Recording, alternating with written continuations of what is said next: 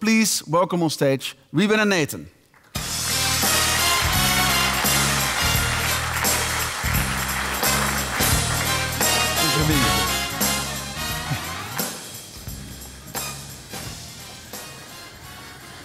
So, um, Nathan, thank you for being with us. Quick trip. We'll, we'll do a little bit of a conversation about Airbnb. We'll talk about you, and then we'll try to also distill lessons for CEOs of established companies like Rabobank on how can we transfer some of your skills. But uh, I was wondering, we're staying in a hotel here. How's that? well, I'm actually staying at an Airbnb about 10 minute walk uh, from here.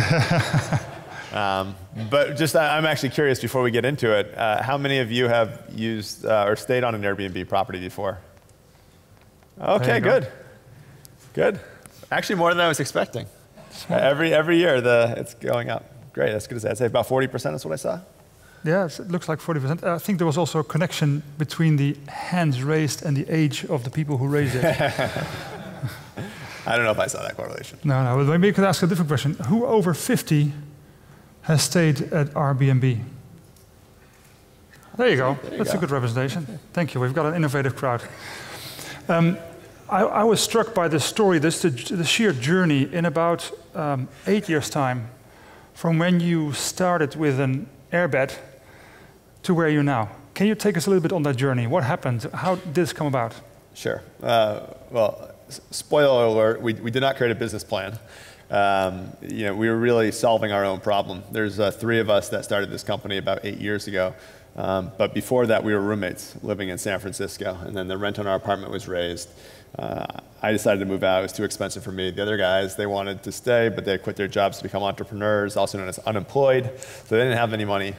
Uh, but they, they saw that a design conference was coming to San Francisco, that all the hotels were sold out and they got the idea to rent out that extra bedroom in the apartment to designers who might need a place to stay. And they did that. They made $1,000. They met some cool people, explored San Francisco together. It was really a win-win. Uh, but that's all it was meant to be, one weekend. But afterwards, the three of us got together and thought, you know what? You know, maybe there are other people who could benefit from the same thing. Why don't we make it just as easy to book someone's home as a hotel? So that's what we set out to do in early 2008 you know, 2008 was a really long year. I mean, how many times have I been rejected in 2008? It's pretty countless. Um, I remember our mentor telling us, saying, you know, I, I hope that's not the only thing you're working on. Uh, and I, you, it, this seems like such an obvious idea now, but I really want to reinforce that this was an absolutely crazy idea. I mean, how can you trust strangers in your own home? Uh, and I think that's the challenge with these disruptive ideas. Is at first they just sound so crazy that no one takes them seriously. Uh, but we, we persisted, um, and in early 2009, after about a year, we started to get traction, first in New York. And it was literally, you know, at, in the beginning, it was air beds and extra bedrooms. I mean, it was super, super budget. And uh, that changed, though, over time. Uh, before too long, one of our users asked us if he could rent out his entire apartment. He was actually a musician, he was going on tour, and he wanted to rent out his entire home. And at the time, our, our website didn't really support that we had a price limit. I think it was you couldn't charge more than $200 a night. And he wanted to do a little bit more. So we said, okay, interesting use case, we'll allow it. Uh, and I think that's been a pattern, which is when you create a marketplace that's open to consumers, to see the different directions that they take the product in is, is really informative. Uh, before too long, renting entire places was the norm. And then before too long, uh, there were really novel places like tree houses became a big thing, and, and islands and castles here in Europe. And uh, boats and, and all this stuff. And, and it turned out that there was actually a lot of demand for this. Uh, and these were things that never before would you have imagined there was like a real market for. And did, did you, from the start, pursue a tactic of this is just a new way of unlocking new staying potential at lower price? In other words, a transaction type of slant, or was it this experience that, uh, that triggered this? We always made sure we, we kind of painted the bigger picture of the experience. Of course, you know, uh, value is important in, in any transaction. And, and, so that is uh, an element of our success. Um, but I, I, think the real secret sauce of Airbnb is, is the fact that every single property is unique. Hmm. And that when you stay in a home, you get to live like a local and not feel like a tourist. Uh, and so we've been sure to make sure that's captured in any kind of marketing we do of the concept uh, and paint that bigger picture. Hmm. And so now, uh, is it about, uh, is it primarily the purpose of creating a fantastic experience, or is it the purpose of creating like with Uber, a completely new transaction level, transaction cost level? Um, I mean, at the highest level, what I'd say we're doing is we're democratizing travel, which means that uh, tourism is this really big industry, uh, roughly two or three trillion dollars. And before, you had to be a business and have a fair amount of funding in order to participate that participate in that in a meaningful way. Uh, and now with technology uh, in these platforms, all the friction has been removed, and ordinary people can suddenly uh, participate in this global economy and receive bookings from people uh, coming from China and, and faraway places. Uh, and I think that's a remarkable thing. That's the democratization of travel. That's the concept we're really excited mm-hmm. about, and we want to push further on. So right now we do that through the home, but we want really thinking more broadly. We know that our customers are on a trip, uh, and they're looking to experience the city that they're visiting. We know that we have a unique asset, which is the community. Our, our hosts, our, our users, uh, they have all the local knowledge. They now have the entrepreneurial mindset. How can we create the tool set to allow them to create products that the guests are going to want to buy? I mean, at the end of the day, our hosts, I think of them as micro entrepreneurs, and we've given them a hospitality toolkit yeah. uh, such that anybody can participate. But you've, you've revolutionized the experience of hotels. Now you're the biggest hotel chain in the world. You're coming to cities. What is the, for example, you're coming to Amsterdam. What is that relationship? You're now facing challenges of a big company as a high growth incumbent. Can you talk a little bit about how, that experience, how yeah, it changes? I mean, these new models bring up lots of questions, really important questions. Uh, and that's something we've really tried to lean into and, and not, not necessarily avoid. Um, and, you know, I think first it's been important to look at these new models with fresh eyes. It's the 21st century, and so many of the rules that we have date back 50, 100 years ago. Uh, and it, everyone kind of needs to accept that we should think about this kind of from the ground up, what makes sense. Uh, you know, the, the, second thing is uh, there are usually multiple ways to solve a problem. Uh, and so sometimes the, the first reaction isn't necessarily the, the best solution.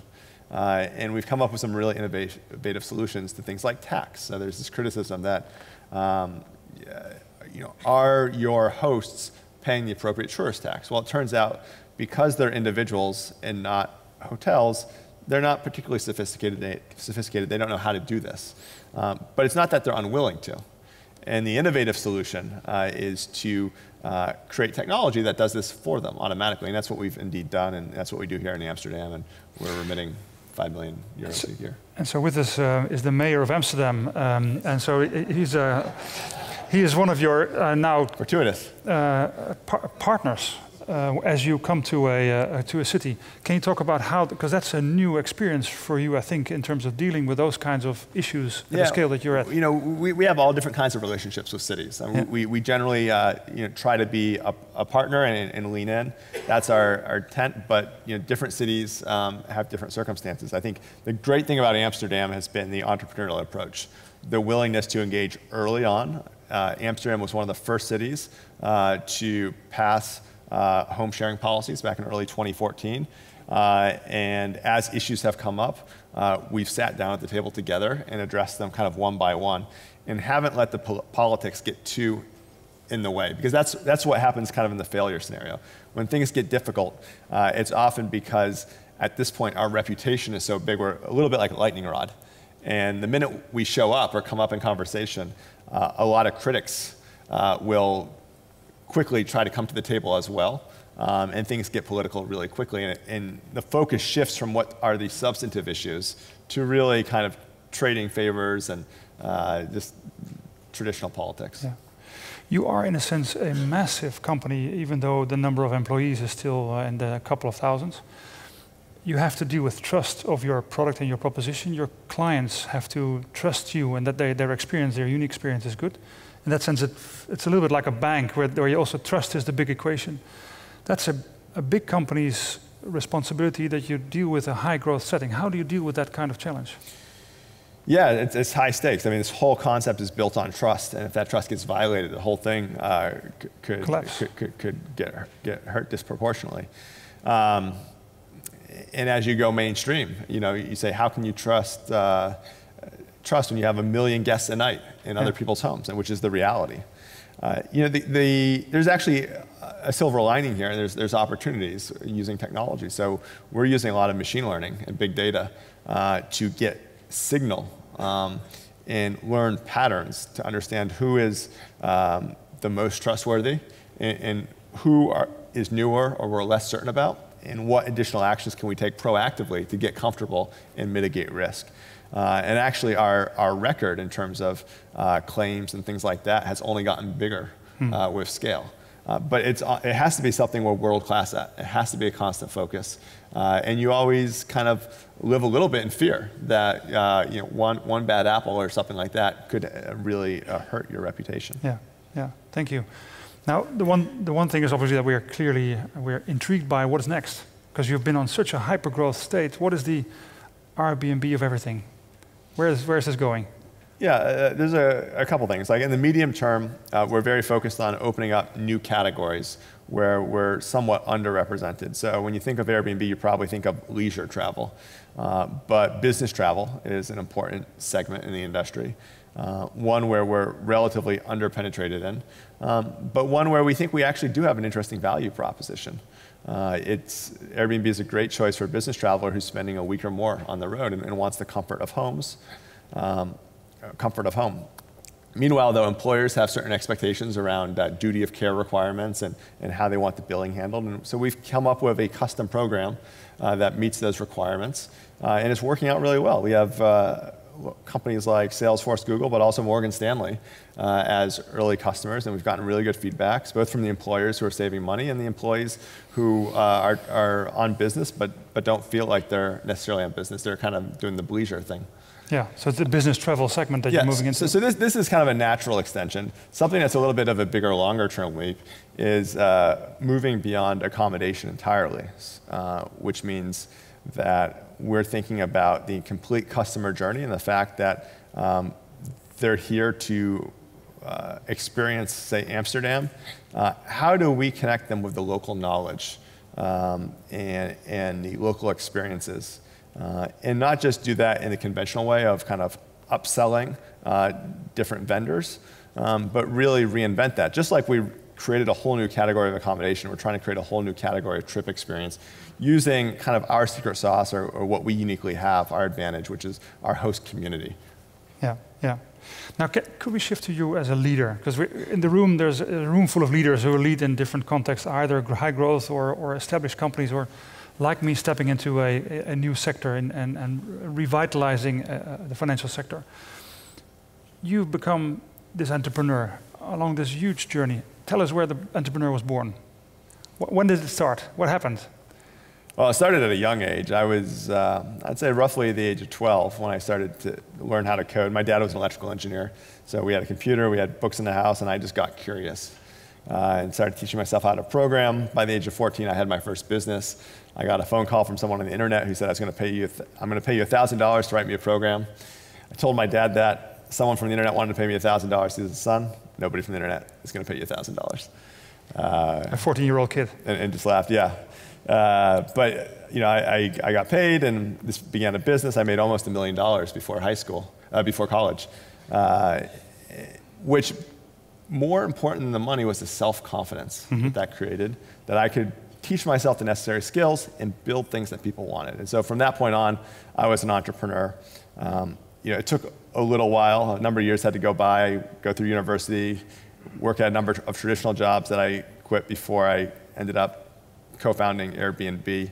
Uh, the early days of Airbnb, you, you know, you, you, roll up your sleeves and you do everything yourself. So my title in the beginning was all things technical guy, uh, because my two co-founders were designers, uh, and so uh, they weren't going to write the code or, or, do the financials. And that was my life for a few years doing that. And then, then it's all about hiring the team for years, just constant interviewing uh, and onboarding. And uh, you know, there comes a point, and then leading that team, but then there comes a point where you're able to hire amazing executives who can do all that stuff way better than you can. They can, mm. they can hire better than me, they can run the teams better than me. And you know, I really embrace that. And that has allowed me in my role to change a bit, uh, to be higher level, broader strategy. Um, you know, particularly, I'm trying to find the sticky issues in the company um, that nobody really knows to go about how to change. Uh, like, how do you make a decision that is like so foundational to who we are? Uh, and I think as a co-founder, uh, you have a unique ability to, or as a CEO of a company, you know, you, have the unique ability to tell that story um, and kind of the moral authority to do so.